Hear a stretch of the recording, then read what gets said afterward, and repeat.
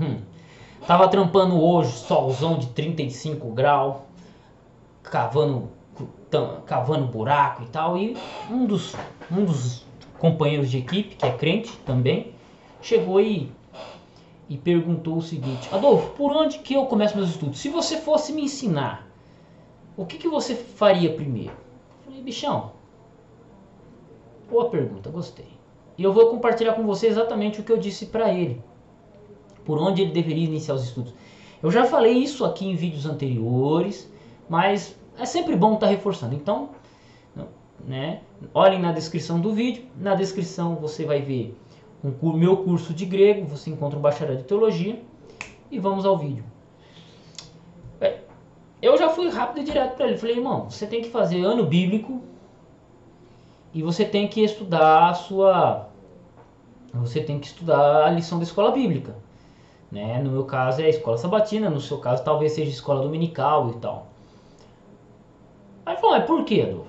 Ué, tem que ser o ano bíblico, o ano bíblico para você ter o conhecimento geral da Bíblia.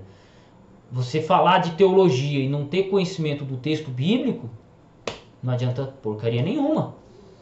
Então você tem que conhecer a Bíblia, entendeu? Você tem que conhecer a Bíblia é, de maneira geral. Então você tem que estudar de maneira que você leia a Bíblia de maneira completa, para que você tenha noção dos assuntos. Foi isso que eu disse. Né? É, claro que no trabalho não dá para deixar claro igual eu estou falando aqui. E a segunda é a escola bíblica, bicho. Cara, escola bíblica. Eu vou ser obrigado a falar da minha igreja, porque é da minha igreja, né? Uh, uh, por exemplo, esse trimestre nós estamos estudando Deuteronômio, por exemplo trimestre que vem, que é o ano que vem, nós já vamos estudar o livro de Hebreus na escola sabatina. Então o que, que acontece? Enquanto que no seu dia a dia você vai estudar a Bíblia de maneira geral, numa leitura anual, que é o mínimo que você tem que fazer, você tem a escola bíblica que cada três meses, cada dois meses, cada quatro meses, aí depende da sua. Depende do ciclo que a sua, que sua igreja usa. Você estuda um assunto específico. E aí que tá. Por quê?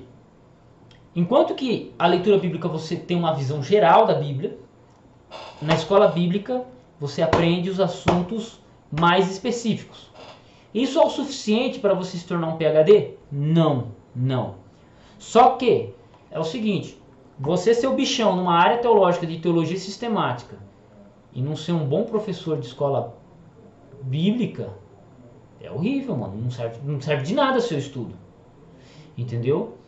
E se você não acompanha a escola bíblica. E não adianta nada você saber, vamos lá, grego, hebraico, e, e, e, você saber grego e hebraico, mas você não conhecer o livro de Ageu.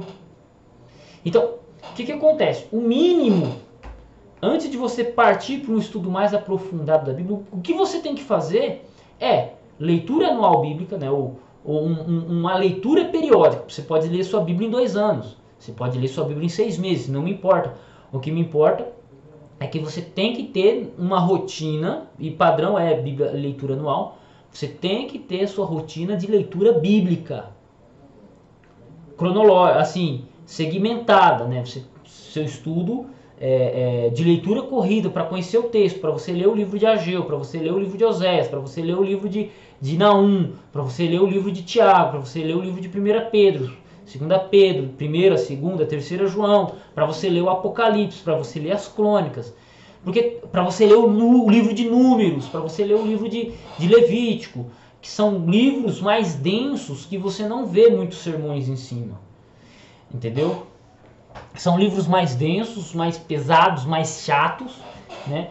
que não são muito pregados, não são muito compreendidos pela grande maioria das pessoas. Você não vai ver muitas pregações em cima de números. Você vai ver pregações em cima dos evangelhos, Apocalipse, Daniel, é, é, os profetas, Isaías, Jeremias e por aí vai. Porém, você quase não vê pregações acerca do livro de números, de Levítico. Raramente, entendeu? Então, a leitura anual ela serve para isso. E a leitura da, da, e o estudo da escola bíblica é para você praticar um assunto específico. Um assunto específico. Então o que, que acontece? Na, na leitura bíblica você já tem uma visão geral. Na escola bíblica, na lição dominical ou na lição sabatina, eu chamo de escola bíblica para facilitar a linguagem. Na escola bíblica você estuda um tema. Por quê? Se for para mim, para eu, para mim, não sei qual palavra eu uso agora, para eu mesmo estudar o livro de Deuteronômio por conta própria, eu não vou. Mas como é o tema da escola sabatina, pô, eu tenho lido e tenho amado. E tenho lido o livro de Deuteronômio de fora a fora, né, de corrido, né? Como ele é um capítulo grande, então leio um capítulo, dois, três capítulos por dia e acabo recorrendo e revoltando, voltando a ele.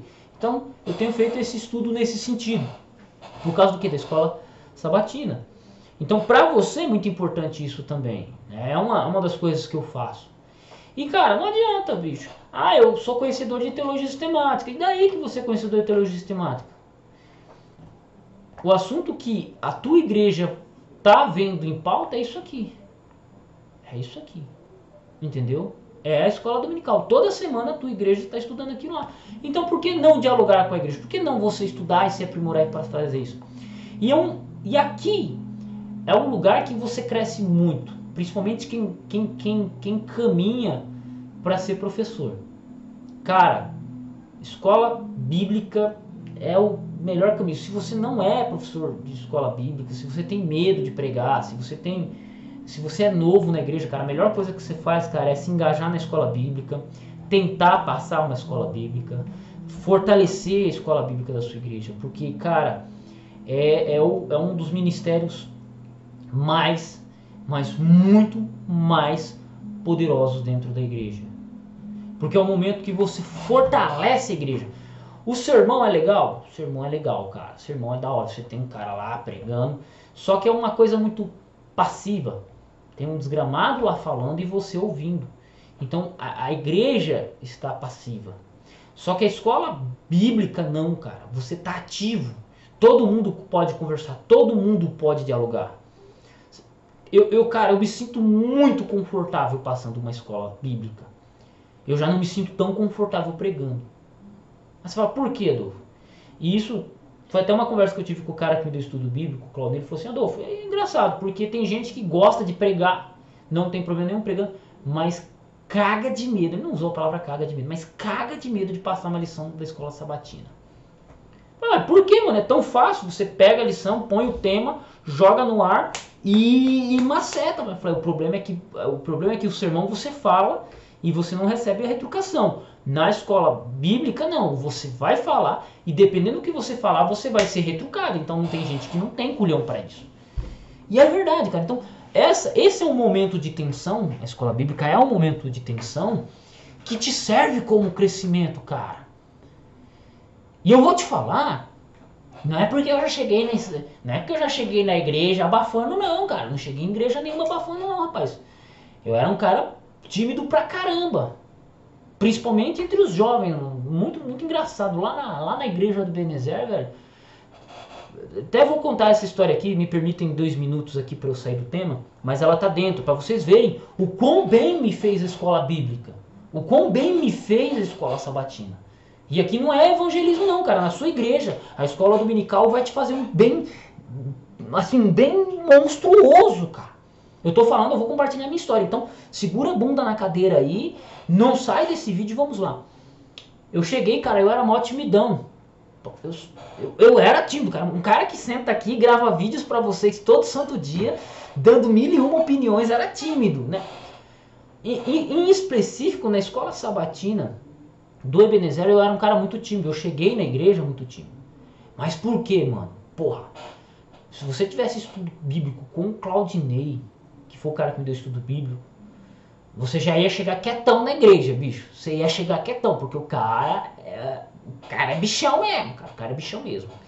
E eu chegava na escola bíblica já com, porra, referência, Claudinei, que era o primeiro ancião lá do Ebenezer. Isso foi em 2010, final de 2010, início de 2011, quando eu me batizei, dia 13 de fevereiro. E eu chegava na escola, na escola sabatina, bichão, e tinha uns caras, mano, mas tinha uns caras, porra, que os caras eram brabo, mano. Mas brabo assim, não tô usando a palavra brabo, que os caras manjavam, mano, dominava a escola sabatina. Os caras dominavam. Dois nomes, né, Dois nomes, um é o Valdeir e o outro. Cunhado do Claudinei, cara. Alan.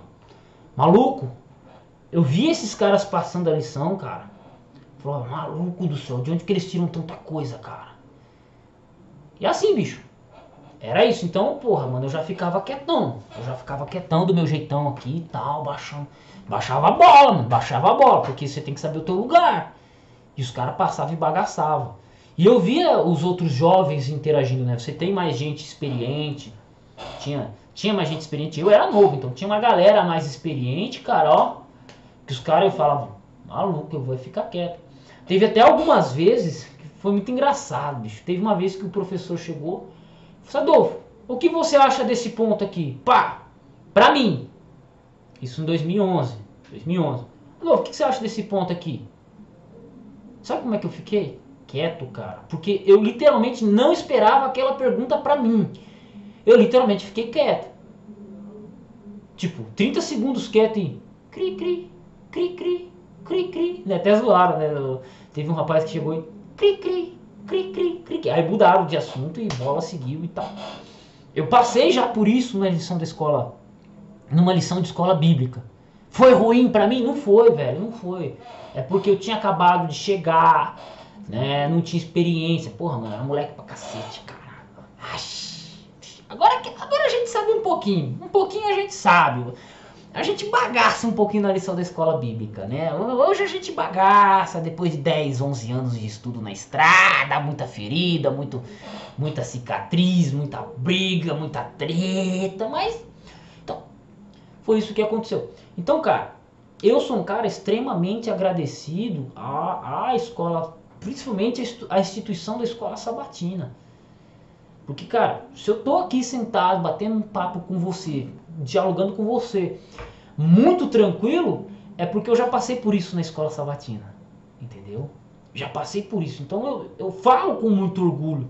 Que a escola. Eu, eu falo com muito orgulho e falo por experiência. A escola bíblica vai te fazer bem.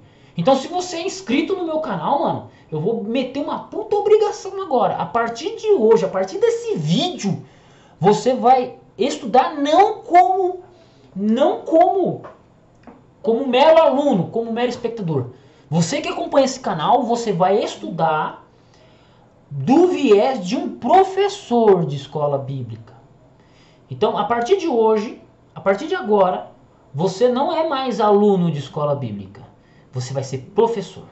Você vai chegar, você vai falar para o grupo de anciões: Olha, eu gostaria de tentar passar uma lição. Eu gostaria de entrar como, como professor auxiliar. No mínimo, no mínimo, já você estar tá entrando. Se você acompanha o meu conteúdo, já era para você estar entrando como professor de escola bíblica na sua igreja. Já era para você ser. Ah, Adolfo, mas não tem. Não tem? Foda-se. Fortalece. Começa a escola bíblica na tua igreja. Chama no, na chincha a liderança. Chama na chincha a igreja. Fortalece. Se já tem e você tá passivão, tá como aluno, você vai chegar, você vai falar pro diretor desse ministério, vai falar com o teu pastor e vai falar assim, olha, eu gostaria de ser um professor auxiliar da escola bíblica da minha igreja. Eu gostaria de ser um professor auxiliar. Se você é inscrito do canal aqui, você vai fazer isso. Se você não fizer, você é um puta bunda mole sem culhão. Você nem, nem, nem comente mais nos meus vídeos. Se desinscreve e vai pra puta que pariu. Mas se você é bichão, cara, se você é um cara que tá comigo aqui, se você entende o que eu tô dizendo, ou você quer passar pelo que eu tô, tô te falando, você, a partir de agora, vai ser professor de escola bíblica. Ah, Adolfo, mas eu sou muito tímido. Entra como professor auxiliar. Você chega pro professor oficial. Talvez é bom até chegar mais cedo. Você chega e fala assim, ó, irmão, eu tô meio tímido, eu sou meio tímido, eu tenho problema de timidez. Mas, olha, eu posso comentar essa lição aqui, você pode me dar espaço para comentar essa lição aqui, ó. É essa aqui, ó, converta o seu coração. Então, uma palavrinha de dois minutos. Dois minutos. Tá ligado? Cara, isso vai te fazer um bem. Isso vai te fazer um crescimento que você não tem noção. Depois desse vídeo, daqui um tempo, você vai chegar e falar assim: Muito obrigado, Adolfo. Muito obrigado. Porque isso aqui, cara Entendeu? Então, então, esse é o ponto inicial. A partir daí, meu amigo, você começa a puxar para outros assuntos. Você começa a ir para você começa a ir para outros assuntos e aí você vai desembocar onde eu desemboquei ou em, ou em áreas tão profundas quanto eu desemboquei. Estudo do grego bíblico e, e crítica textual. Eu caí nesse, nessa área, talvez você siga para outra, profecia e por aí vai. Entendeu?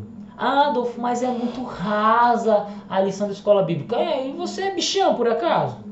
Você é bichão? Você é bichão então? Você é melhor que alguém então? Ah, o assunto é muito raso.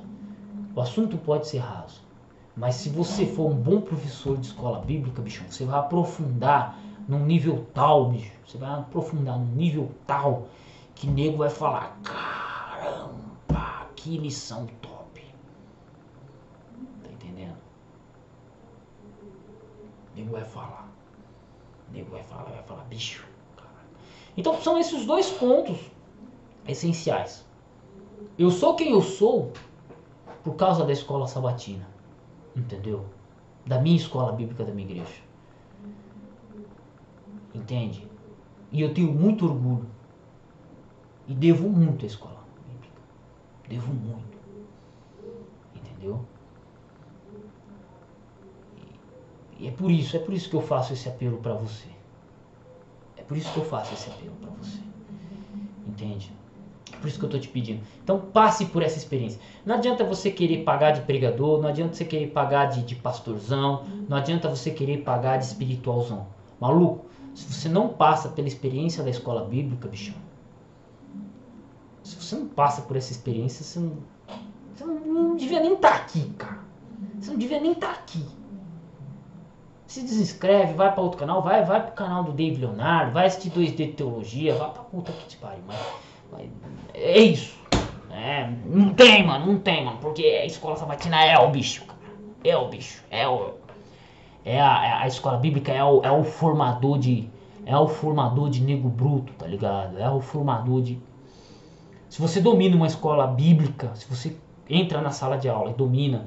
E não é dominar só você falando igual eu fazendo aqui, não, mano. Dominar é no sentido de você chegar, passar o assunto de maneira clara, passar, interagir com os alunos, porque um bom professor, ele interage. Então muitas vezes você nem domina o assunto. Mas você chega a dar uma introdução, cara, você dá uma introdução e aí a própria a própria turma leva, cara. A própria turma leva. A própria turma leva. Entendeu? Interagir com outro professor, você como auxiliar, um professor passando. Já aconteceu, cara, de eu chegar e falar assim: "Olha, professor, Posso só fazer a introdução da lição? Me dá três minutos só para mim passar a introdução. Rapaz, o cara chegou e falou: Vai, Adolfo, vai. Eu chegar e dar a introdução, cara. O professor olhar, brilhar, cara. Abrir.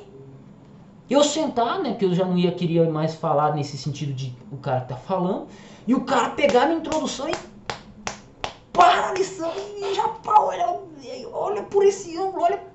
Na hora, mano, na hora, porque é tudo muito, muito rápido também. Não é? Você planeja uma coisa em casa, você estuda de um jeito em casa, mas na hora de passar, cara, é outra coisa. Então, por exemplo, eu tenho esse jeito espontâneo, eu desenvolvi essa habilidade espontânea dentro da escola bíblica.